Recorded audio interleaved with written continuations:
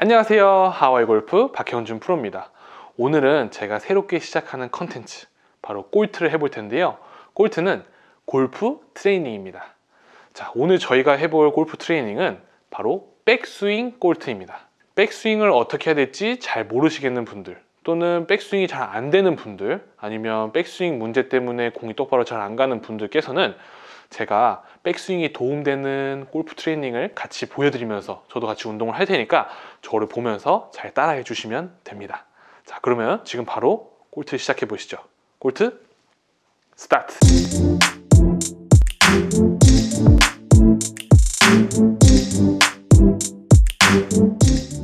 자, 첫 번째 꼴트입니다. 자, 클럽을 가지고 그립을 잡는데 클럽 헤드 쪽으로 그립을 잡습니다. 샤프트는 왼쪽 옆구리 쪽으로 나와야 합니다. 자, 이 상태에서 백스윙 드는 연습을 해볼 텐데요. 두 가지만 주의해 주시면 됩니다. 첫 번째 테이크어웨이를 해줬을 때는 샤프트가 몸에 닿으면 안 됩니다. 이렇게 바깥쪽으로 나가도 안 돼요. 그 다음에 코킹을 했을 때는 그립의 끝이 공을 봐야 합니다. 이것을 반복을 해줍니다.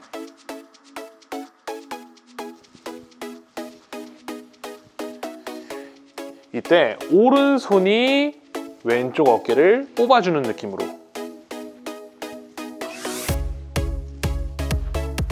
오른손이 왼쪽 어깨를 뽑아주면서 백스윙을 들어줍니다.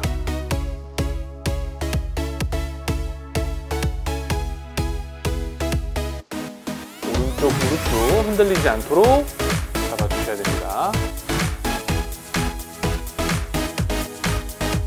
백스윙을 들면서 끝이 공을 잘 보고 있는지 공의 라인으로 잘 가고 있는지 확인하셔야 됩니다. 간전에 힘을 주고 오른쪽 무릎에도 힘을 줘서 버티고 오른손으로 한 번에 당겨주세요. 이때도 마찬가지 최대한 오른쪽으로만 백스윙 돌려고 해주세요.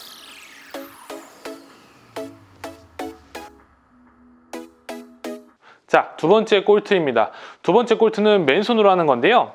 왼팔을 지면하고 평행을 만들어주고 왼손등은 사선으로 만들어줍니다. 자, 이 상태에서 오른손을 합작해 주고요.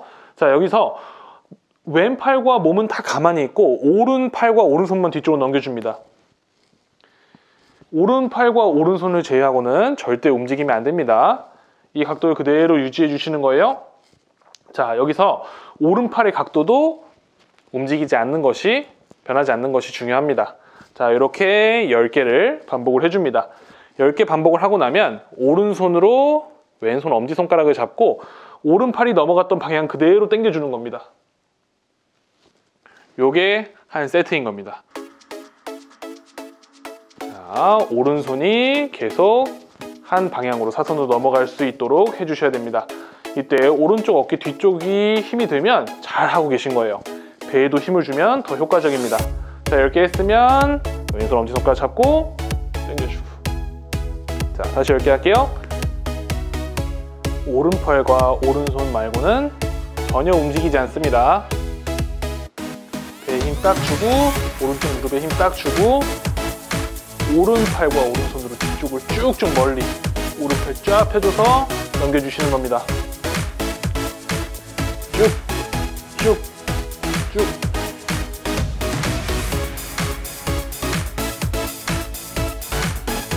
네, 힘 주고 오른쪽으로 잡고 오른발을 최대한 쭉 뒤쪽으로 멀리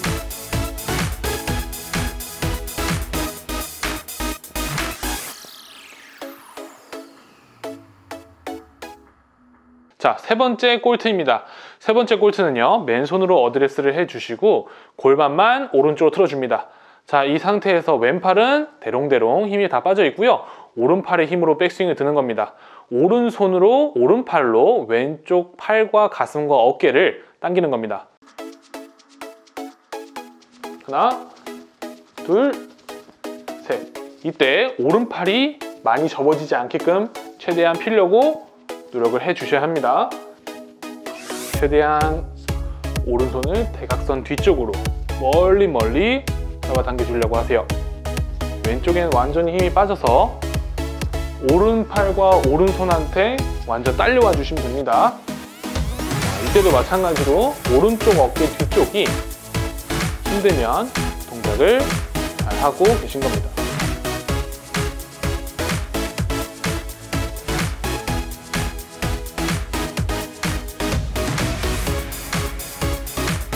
오른쪽 뒤쪽이 당기면 잘 하고 계신 겁니다.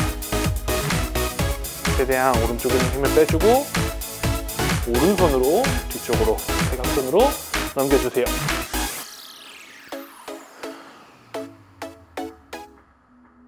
자, 네 번째 꼴트입니다. 네 번째 꼴트는 짧은 클럽을 가지고 어드레스 해주시고요. 오른팔 한 팔로만 백스윙을 들어주시면 됩니다. 이때 몸은 최대한 움직이지 않고 오른팔로만 백스윙을 해주셔야 되고요. 오른팔도 최대한 많이 접어지지 않게끔 최대한 펴려고 해주면서 쭉 뒤쪽으로 많이 늘려주시면 됩니다. 스트레칭 하듯이 쭉쭉 늘려주는 겁니다. 이렇게 백스윙을 들게 되면 백스윙을 들었을 때 오른쪽의 가동 범위가 넓어지게 됩니다.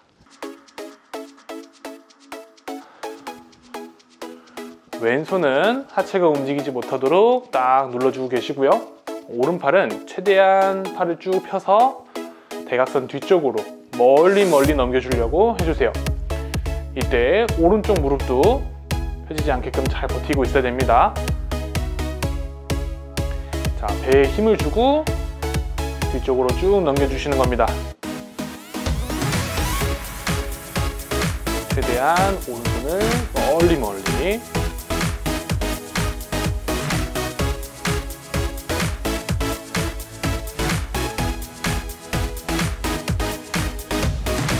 하체는 고정해주고 오른팔과 오른쪽 어깨가 쭉 늘어나는 느낌으로 최대한 멀리 뒤쪽으로 넘겨주세요.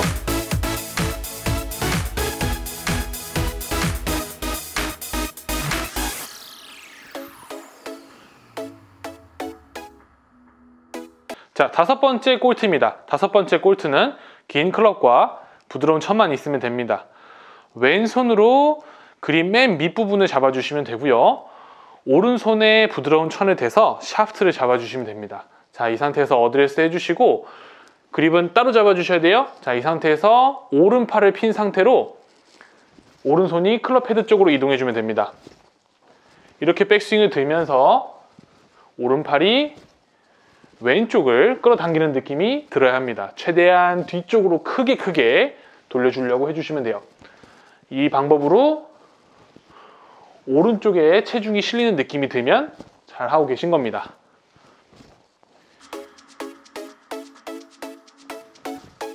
하나, 둘, 셋. 이때도 마찬가지로 오른쪽 무릎에 힘을 줘서 버텨야 되고요. 오른팔이 최대한 펴질 수 있게끔 최대한 뒤쪽으로 멀리 멀리 오른손이 뒤로 멀리 넘어가서 왼쪽 등판을 끌어당기는 늘려주는 느낌이 들어야 합니다.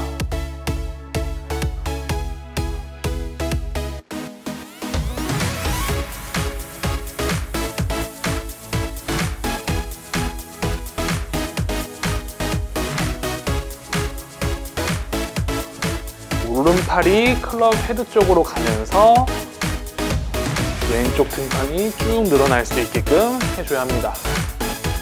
이때 오른쪽 무릎은 버텨주세요. 오른발 안쪽에 힘을 주면 오른쪽 무릎이 펴지지 않게끔 더 잘 버텨줄 수 있습니다. 오늘 저와 함께 백스윙 꼴트 해보셨는데요. 어떠셨나요? 굉장히 힘드셨죠? 특히 오른쪽 어깨 뒤쪽이 많이 뻐근하실 겁니다. 이렇게 뻐근한 느낌이 드는 건 근육이 생기고 있는 거니까 아 내가 오늘 운동을 잘 했구나 생각해 주시면 좋을 것 같아요. 한 번 운동하시는 것보다는 지속적으로 운동하는 것이 훨씬 더 효과적이고 중요하니까요.